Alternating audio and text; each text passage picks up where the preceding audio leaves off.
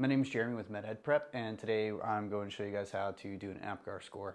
We're going to go over some real world situations, and applications, as well as a test question right there at the very end so you can practice what you just learned. So one of the very first things that you need to know about APGAR is it was invented by a woman named Dr. Virginia APGAR, uh, who was an obstetric anesthesiologist.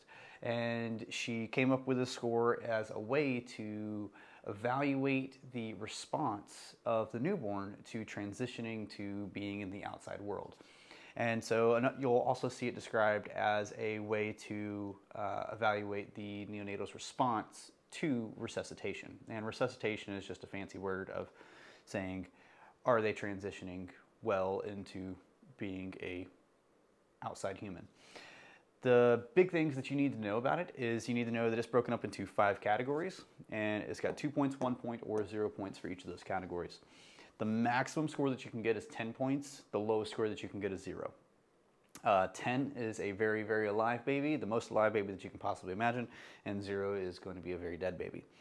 Uh, you are going to do it at least twice, and that's going to be one minute after birth and five minutes after birth. If and only if your five minute APGAR is less than seven, then that is going to be the point that you are going to do it at 10 minutes, 15 minutes, and 20 minutes. And you are going to do this to continue to resuscitate, whether it be oxygen, drying, warming, stimulating, or whatever, uh, to see if you can get there 10 minute, 15 minute, and 20 minute up to above seven.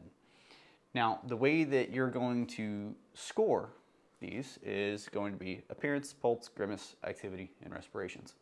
Appearance, two points worth for that, is going to be you're going to have a very pink core with pink extremities. They're going to be entirely pink throughout and have a normal color for that skin tone uh, throughout their body. Pulse is going to be any heart rate that is above 100. If it's 102, they still get two points. If it's 98, they're not going to get two points. They're going to get one. Grimace. Grimace is something that you might see described a couple different ways. The most way that's made sense to me is just by looking at the newborn's face and looking at how agitated can you actually make that newborn.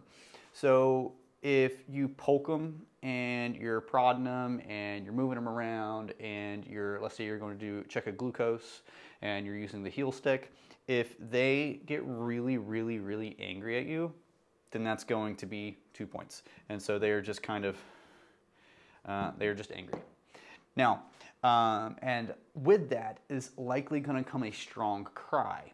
And so that is why sometimes grimace and respirations, they actually might get uh, described in a, in a test question in the same sentence or the same context. So if they say something about a strong cry when stimulated, a lot of times that's going to give you two points for this and then two points for respirations as well. So you're going to have a strong cry for respirations. Now, activity. Activity is going to be how well are they resisting your movement. So if you go to grab their arm and you try to extend it out or you try to flex it if they're, if they're extended, or same thing for their legs, if they provide strong resistance to your movements, then that's going to be two points here. So they're going to be strong. But now keep in mind, you're an adult, they're not. So just kind of use the context clues to tell you, is, that, is this an actual strong movement or not? Now, for respirations on top of an angry, strong cry, something that you might also see is fast respiration. So usually you're going to be kind of cruising right there about like a breath a second, so 60 breaths a minute. And that's totally normal because their tidal volume is so low that they have to have a really high respiratory rate to be able to compensate. And so that's why fast respirations is very, very normal in newborns and infants. Now, um, for one point for uh, appearance, that is going to be, you're going to have a pink core, and then you'll have uh, blue extremities. Okay, and something that's really important to keep in mind about appearance is it doesn't matter your skin complexion. If you have dark skin, then that's okay. You might not be able to adequately score this if you're not familiar with what the colors might present like on somebody with that skin type. But the thing is, is it doesn't really matter. Appearance is not going to be the thing that's going to bring somebody below seven on the APGAR or to tell you that a, a kid is sick. What's really going to tell you those things is the pulse, the respirations, how pissed off are they, and can you actually resist their movement. If they're okay and all this other stuff, and you're like, I really can't tell for their appearance, secondary to the skin complexion, it's no big deal. Don't even worry about it. Just treat them like normal. Now for pulse, this one here is going to be less than 100. Um, grimace is going to be, a, if they are weakly agitated and they're just like, eh, I'm kind of mildly inconvenienced by you, then that's going to be worth one point. Uh, activity is going to be uh, weak resistance. So if you go to grab their arm, extend it out, and it doesn't really do a whole lot, but they're kind of sort of pushing or kind of sort of resistant, that's going to be one point. Respiration is going to be slow, if for one point, or uh, a weak cry. So weak cry, slow respirations, either one, but they still they're still breathing. One's the baby's still presenting with some signs of life. Uh, zero. Zero for your appearance is going to be blue all the way throughout. And so they're going to have a blue core and blue extremities. That's not normal.